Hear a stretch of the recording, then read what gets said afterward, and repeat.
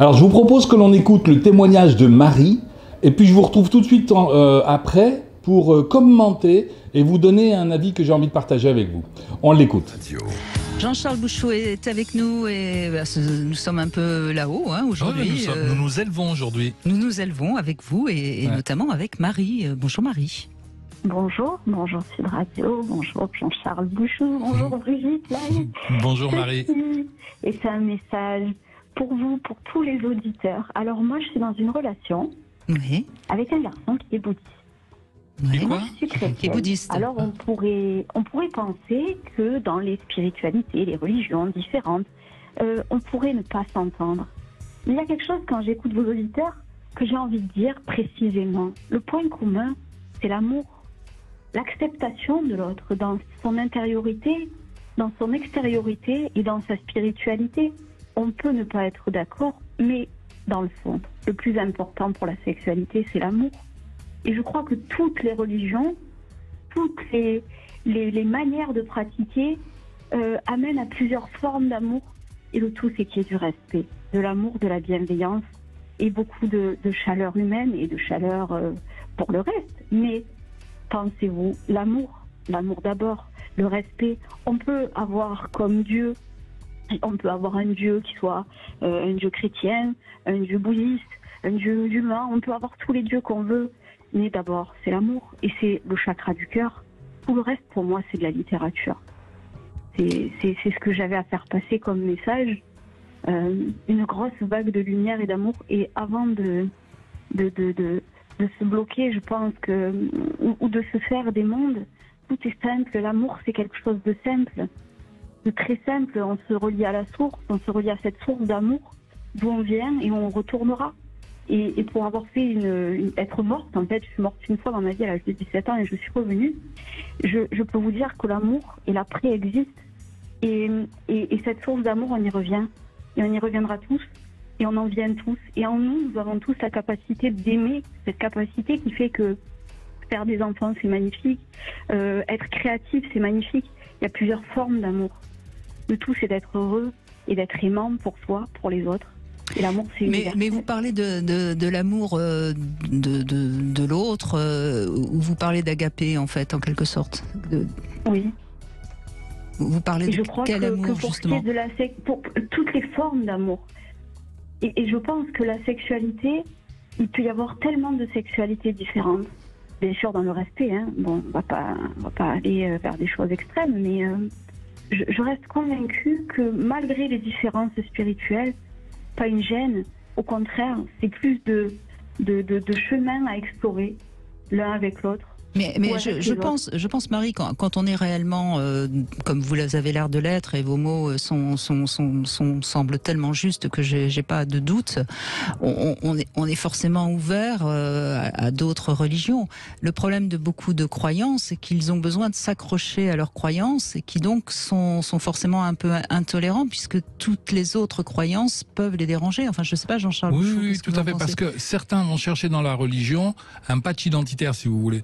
C'est-à-dire là où leur narcissisme est défaillant, ils vont dire moi je suis. Je suis chrétien, je suis bouddhiste, je suis ceci ou cela. Euh, c'est pas ça une religion. Au contraire même, quand on suit une religion, logiquement, euh, on, on perd quelque chose de son ego. À l'inverse.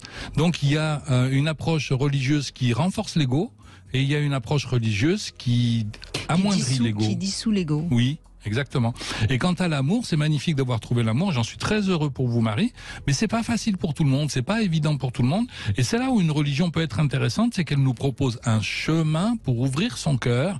Et il y a des pratiques, euh, pratiques qui, qui, qui permettent euh, d'arriver à ouvrir son cœur, d'arriver à, à- à acquérir la foi dont nous parlions tout à l'heure avec Natacha, à arriver euh, à- à aller vers.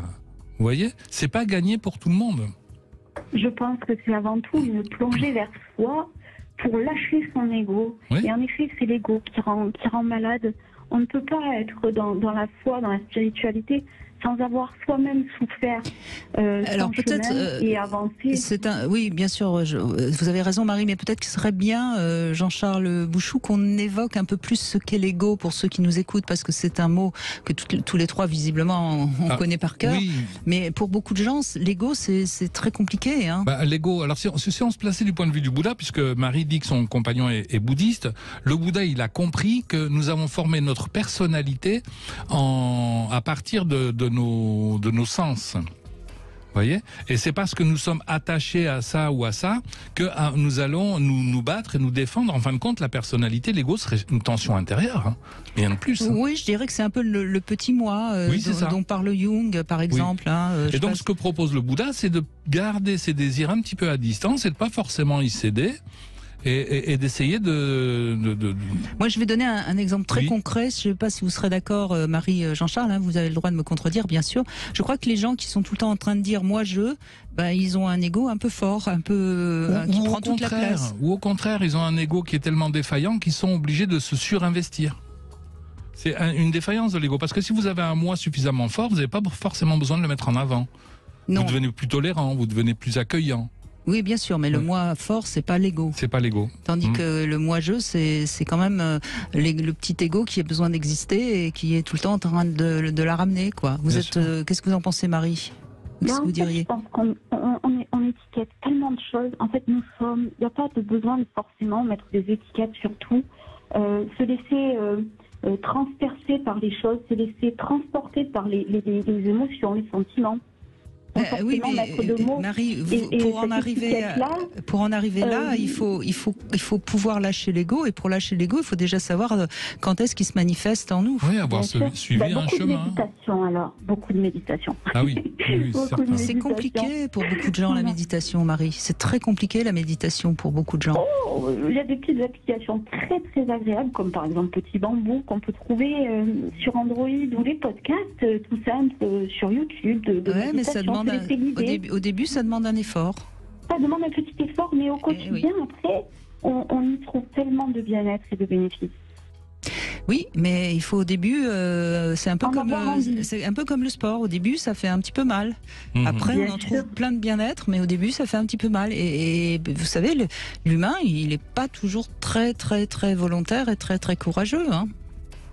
Je crois que c'est le chemin de chacun et qu'au bout d'un moment, nous atteignons tous notre capacité d'éveil. Nous avons tous des capacités différentes d'éveil, euh, du plus petit Mais ça, c'est évident, Marie. On le voit bien dans, dans on a vu dans des moments euh, euh, tragiques comment certaines personnes ont su se donner, se dévouer. Enfin, bien sûr, quand chacun de nous, il y a cette, il peut y avoir ça, mais c'est pas si, si naturel quand même que, que, vous le dites. Mais en tout cas, merci beaucoup de ce joli témoignage d'amour, justement. Merci à vous.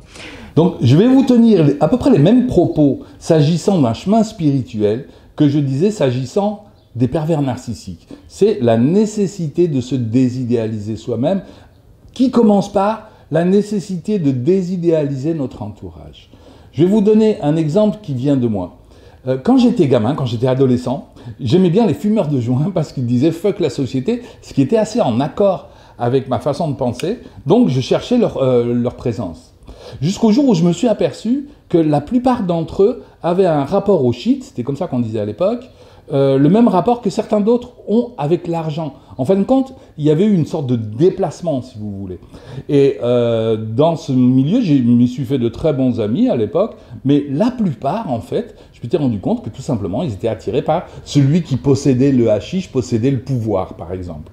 Alors je me suis un peu détourné d'eux. Par la suite, j'ai fait de la politique et je me suis dit que les gens qui voulaient transformer cette société pour aller vers un mieux vivre ensemble étaient forcément des gens intéressants. Et là, pareil, je me suis fait de très bons amis, j'ai rencontré vraiment de très belles personnes dans la politique, mais une grande partie qui en fait était là uniquement pour profiter du système et qui, au pied du mur, en fait, n'agissaient jamais en fonction de leur façon de penser. Donc je me suis un petit peu détourné de la politique. Par la suite, j'ai fait du syndicalisme, j'ai rencontré la même chose, beaucoup qui cherchent à devenir chef ou autre chose, alors que à l'origine, l'idée c'était de défendre les intérêts des salariés. Et puis je me suis tourné vers la spiritualité, et dans la spiritualité, il m'est arrivé la même chose. Mais j'y ai rencontré, y compris des gens très bien, mais qui avait des discours vraiment très étonnants. Je me souviens la dernière fois que j'ai rencontré un moine zen, un monsieur qui a plus de 80 ans, il n'a su que m'expliquer, oui, tu sais, l'autre là, il parle mal de moi, et puis il se passe ceci, il me racontait un petit peu tous les potins du milieu du zen. Ceci étant dit, il a une vraie pratique. C'est quand même quelqu'un que j'apprécie beaucoup, mais je suis toujours surpris par ce genre de choses. C'est-à-dire que quand on change de société, on retrouve à peu près les mêmes gens. Donc, désidéaliser notre entourage, parce que c'est un petit peu dommage de rejeter une religion, par exemple, au motif que dans cette religion, il y a des gens qui agissent mal. Je le dis pendant la vidéo, beaucoup utilisent la religion ou la spiritualité comme un patch narcissique. C'est-à-dire, on va dire, moi je suis je suis bouddhiste, je suis chrétien, je suis musulman. Et vous voyez, ça vient conforter notre ego. Alors qu'en fait, le, chemin spirituel, à l'inverse, devrait diminuer la présence de notre ego. C'est en tout cas ce que j'ai proposé à Brigitte Lai. Donc voilà, désidéaliser son entourage, c'est très important pour pouvoir se désidéaliser soi-même et dans la spiritualité, redevenir simple. En fait, aller vers la spiritualité, c'est pas gagner quelque chose, c'est perdre quelque chose qui va nous rendre plus libres. Euh, le Bouddha disait par exemple, nous sommes tenus par nos pulsions, laissez passer les désirs, laissez passer les pulsions, c'était déjà ce que j'avais traité lors de la précédente vidéo, permet d'acquérir une certaine liberté et s'éloigner de la souffrance et s'approcher de l'éveil. En tout cas, c'est un beau programme qui nous est proposé là. Voilà pour cette vidéo, je vais en rester là pour cette fois. Si ces vidéos vous intéressent, pensez à mettre un like, un pouce vers le haut, ça a son importance, à vous abonner si vous n'êtes pas déjà abonné et à activer une petite cloche de notification pour être tenu au courant à chaque fois qu'une nouvelle vidéo sort. Je vous dis à bientôt. Au revoir.